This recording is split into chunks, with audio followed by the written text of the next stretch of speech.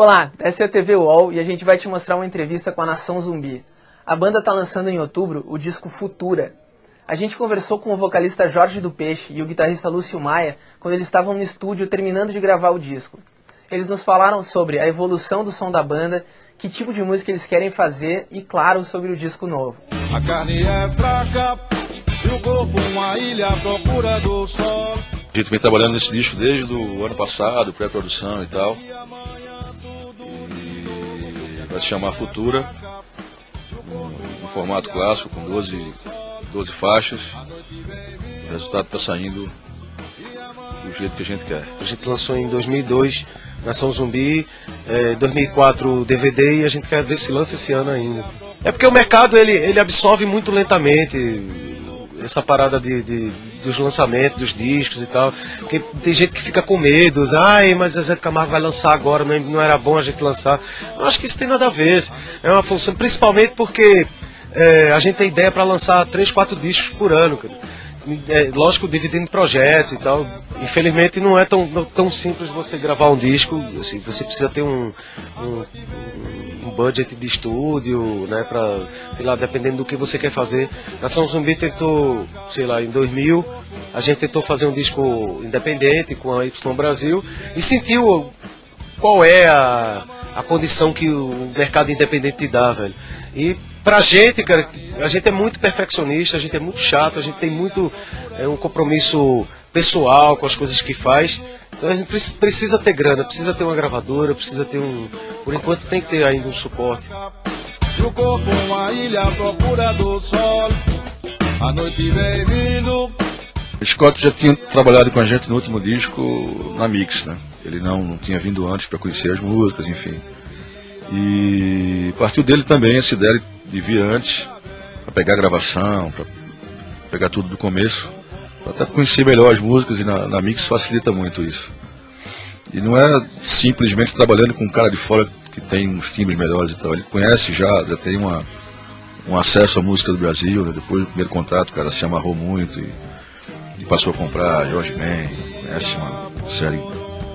E está trazendo essa parte pode-se dizer, estado da arte, state of art, em termos de mix que ele, que ele traz no final ali.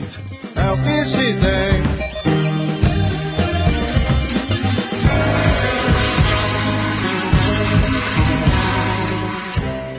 Uma das características da Nação Zumbi, desde o tempo que era liderada pelo Chico Science, é de gravar discos que, embora tenham a marca inconfundível da banda, são bem diferentes um do outro.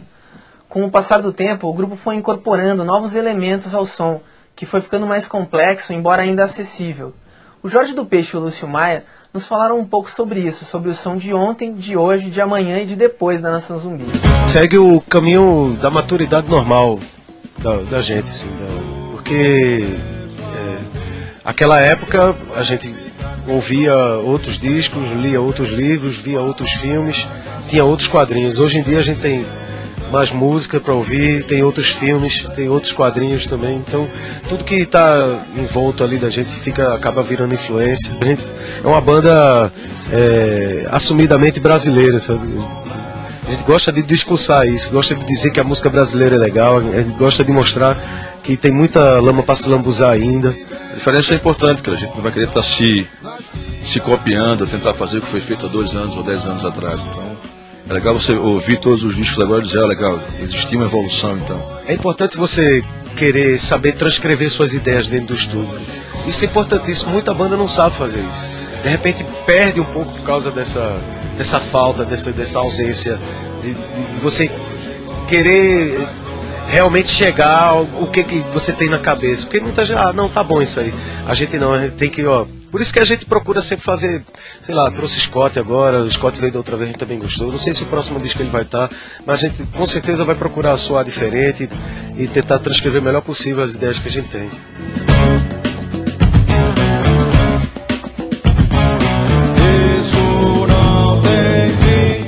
A Nação Zumbi é uma banda de influências.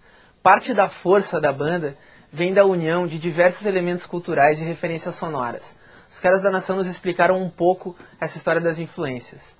Tem tanta coisa para se ouvir, cara, não dá nem para, dá nem tempo. Você baixa tanta coisa, não dá tempo de ouvir tudo. Você vai ouvindo aos poucos e tal. Mas a gente vem ouvindo sempre, pô, não dá nem.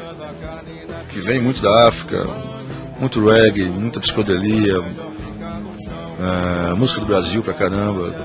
Nem encontra tudo, né? Nem tudo.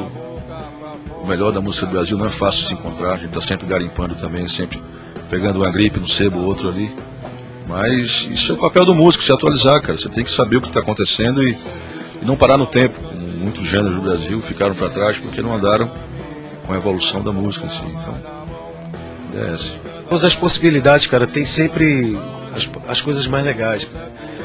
Sei lá, desde o do brega ao, ao jazz, sempre tem o, o feio e tem o, o, o bonito da história. Então tem muita coisa para ouvir, cara. A gente tem uma, uma, uma, biblioteca extensa porque são oito pessoas, cada um ouve uma coisa. Né? Tem a galera que tem mais o pé fincado dentro do, do candomblé e tal, e tem gente que é mais fincado dentro da tecnologia. Então, dentro desse, dentro desse campo aí, todo mundo se troca figurinha. No teto é melhor ficar no chão Com nó na garganta a imagem que mora Da boca pra fora Já de segunda mão já de segunda mão.